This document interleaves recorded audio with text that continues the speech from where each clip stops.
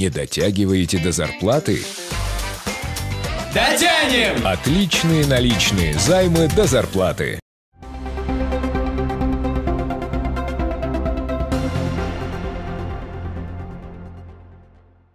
Здравствуйте, товарищи кадеты! Вольно! Вольно! Училище под государственный флаг Российской Федерации, флаг Министерства обороны Российской Федерации, флаг Республики Тыва, знамя Кызылского президентского кадетского училища Тюра! Равнение на лево! В минувшие выходные состоялась торжественная церемония прощания со знаменем первых кадетов-выпускников Кызылского президентского кадетского училища. Радость праздника с кадетами разделили их родители, педагоги и руководство военного ведомства страны. Право первым обратиться к собравшимся было предоставлено заместителю министра обороны России, генералу армии Николаю Панкову. Здравствуйте, товарищи кадеты и воспитанницы!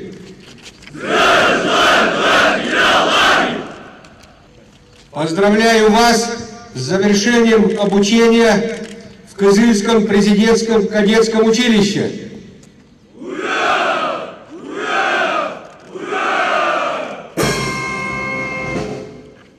Также первых выпускников дистанционно по видео поздравил министр обороны Российской Федерации, генерал армии и герой России Сергей Шойгу. Быстро пролетело время, и сегодня наступил волнительный для всех нас день. Училище дает путевку в жизнь первому выпуску воспитанников. От всей души поздравляю выпускников, педагогов, родителей и жителей республики с этим знаменательным событием. Ваше училище еще совсем молодое учебное заведение, но оно уже завоевало заслуженный авторитет как на региональном, так и всероссийском уровне.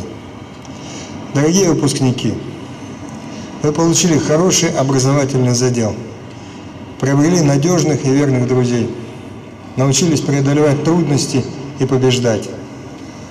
Ваши достижения – это во многом заслуга педагогов и воспитателей, которые делились с вами знаниями, окружали заботой и душевным теплом. Не сомневаюсь, что через всю жизнь вы пронесете воспоминания о родном училище, любовь и уважение к наставникам. Дорогие ребята, продолжайте учиться, смело реализуйте свой творческий потенциал на благо России и родной Тувы. Добрый путь! Далее знаменосная группа вынесла на плац училища государственные флаги России, Тувы, флаг Министерства обороны страны и знамя училища.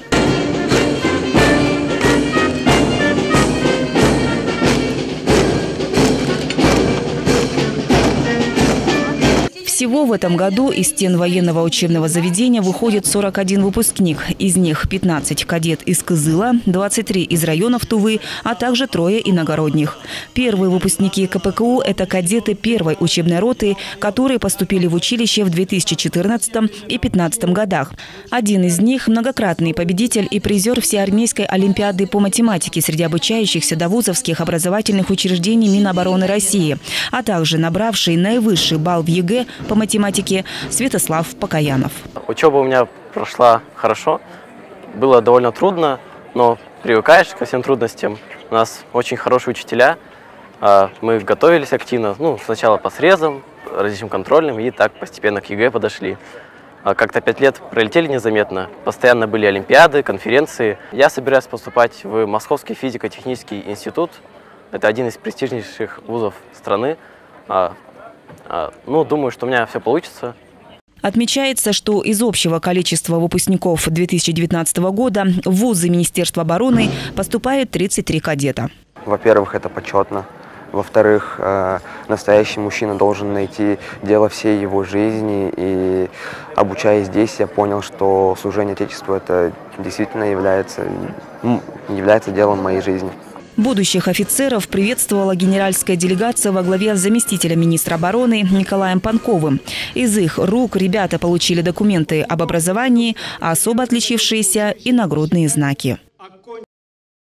В числе муниципальных наград Кызыла появится звание «Ударник труда». До 18 июня мэрия города Кызыла принимает заявки на конкурс по разработке эскизов нагрудного знака «Ударник труда», который будет присуждаться передовикам социально-экономических отраслей в рамках объявленного на территории республики Года человека труда.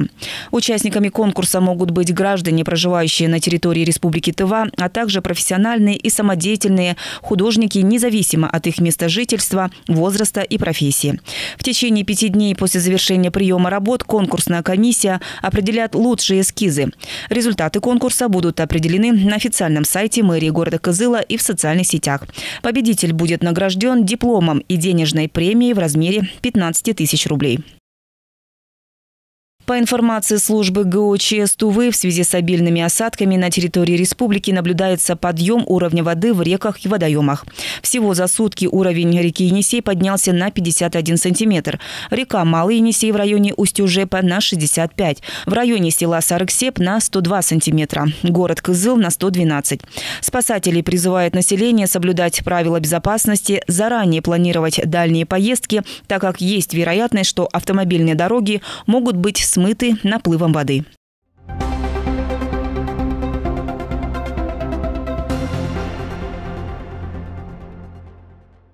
Целях реализации указа президента России о национальных целях и стратегических задачах развития Российской Федерации на период до 2024 года и федерального проекта создания системы поддержки фермеров и развития сельской кооперации Министерство сельского хозяйства и продовольствия Тувы сообщает, что с 19 по 29 июня включительно начнется конкурс на получение субсидий, гранта в форме субсидий агростартапа. Субсидии до 3 миллионов рублей предоставляются крестьянским фермерским хозяйствам. Срок использования средств составляет не более 18 месяцев с даты получения указанных средств.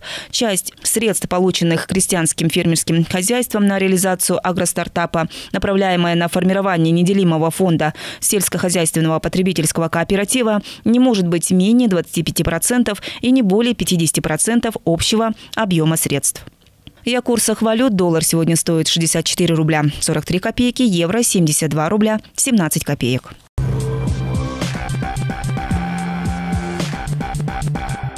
Уважаемые потребители, сообщаем, что с 1 июля 2019 года произойдет изменение тарифов на электрическую энергию. Просим предоставить в ТВА «Энергосбыт» показания приборов учета и оплатить задолженность за поставленную электроэнергию. Информацию о тарифах можно уточнить по телефону 5 65 26, а также на сайте ТВА «Энергосбыт» tuvaensb.ru.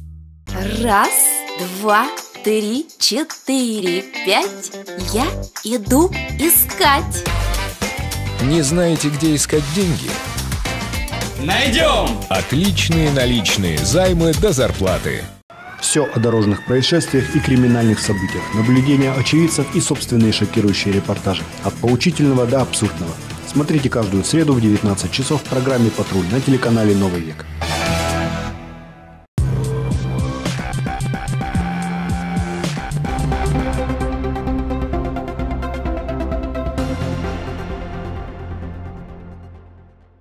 Торжественные линейки для выпускников девятых классов и выпускные вечера для 11 классов пройдут 19 и 20 июня. В период проведения торжественных линеек 19 июня на территории Тувы будет задействованы свыше 150 сотрудников полиции, а в выпускных вечерах 20 июня – 257. В эти дни также будет организовано круглосуточное дежурство с силами работников администрации районов, городов, образовательных организаций, ДНД и родителей выпускников 9 и 11 классов. Кроме того, в эти дни запрещена продажа алкогольных напитков, использование пиротехнических средств, а также запрещены любые выезды выпускников на природу, в озера в целях обеспечения безопасности детей и в связи с подъемом уровня воды в реках, возросшей клещевой активностью и лесными пожарами. Торжественные линейки и выпускные вечера будут проведены в соответствии с утвержденными сценариями и будут посвящены Году театра в России, а также Году человека труда в Республике Тыва. Во всех образовательных организациях пройдут церемонии церемонии награждения отличившихся выпускников отмечены благодарностями родителей, вручены ведомственные награды педагогам.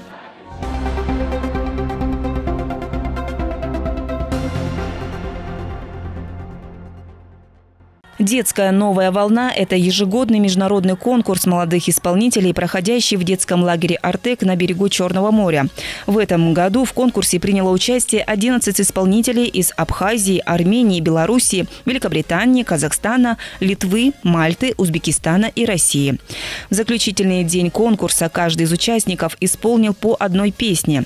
Нашу страну на песенном конкурсе представлял наш юный земляк, 12-летний Денберел Оржак. Now is the truth.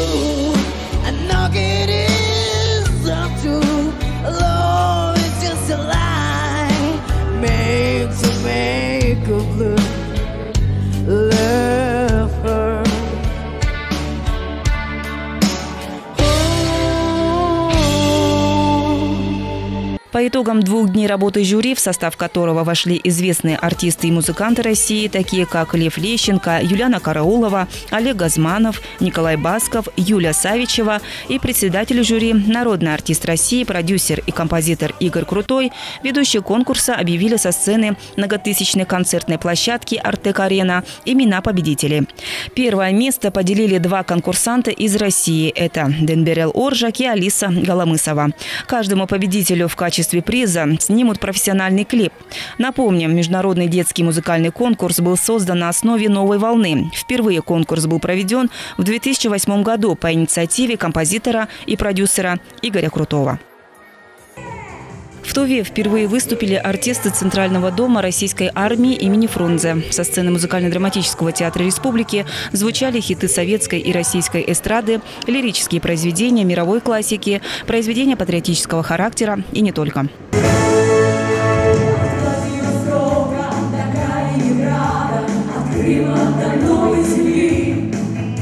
России, не за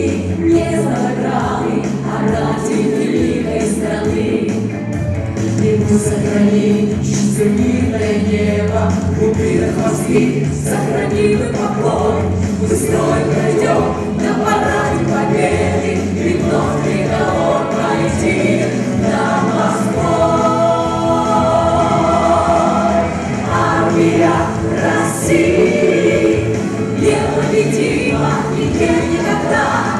Концерт был организован Министерством обороны России. Сегодня Центральный дом российской армии – это основной культурно-досуговый центр вооруженных сил страны, основной деятельностью которого является воспитание, организация культурного досуга военнослужащих, гражданского персонала армии России и членов их семей.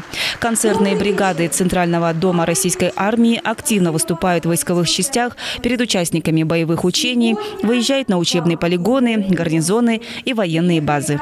Центральном доме армии много творческих коллективов. Вот сегодня, в сегодняшний день, один из коллективов работает в Калининграде. Только что мы вернулись с Сирийской Арабской Республики. В том числе сегодня прилетели и в город, в столицу Тыва, Кызыл. В репертуаре много хороших песен и танцев, но Россия, не забываем Россия, всегда будет звучать на сцене прекрасного театра. В зрительном зале военнослужащие и руководство 55-й отдельной горной мотострелковой бригады семьями. Им были также представлены разножанровые хореографические композиции, но настроение и ритм вечеру задавали солисты с патриотическими песнями в ярких костюмах. Я сравнительно недавно работаю, то есть около полугода всего лишь, но коллектив очень нравится, дружный, хороший, профессиональный, высокий уровень, поэтому очень комфортно здесь работать. Все концертные номера были тепло встречены зрителями, а мастерство артистов было по достоинству оценено продолжительными аплодисментами. Конечно, не хватало немного разнообразия от этих однотипных будней, вот, и поэтому я очень рада находиться здесь сегодня. Тематически выстроенная программа позволила художественными формами воспеть славу России, ее героям, передать настроение людей, живущих в нашей стране. С 9 по 14 июня в Чехии проходили международные учебные курсы, в которых принимали участие молодые дирижеры трех континентов и семи стран. Среди участников были дирижеры Тувинской государственной филармонии имени Халилова, Саян Салчак и Начин Дангак. Мастер-классы проводил главный дирижер филармонического камерного оркестра Новосибирской государственной филармонии и Санкт-Петербургской государственной консерватории имени Римского-Корсакова Алим Шахмаметьев.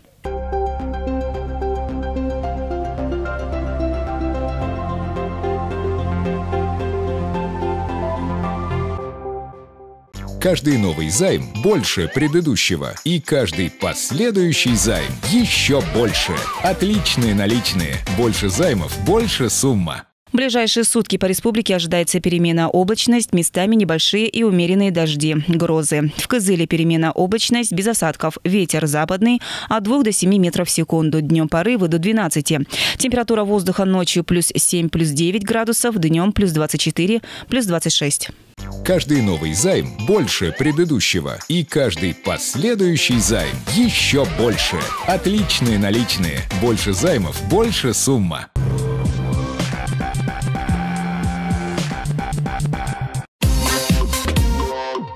За правильными деньгами в правильные займы. Для новых клиентов выгодные предложения. Телефон 595 555.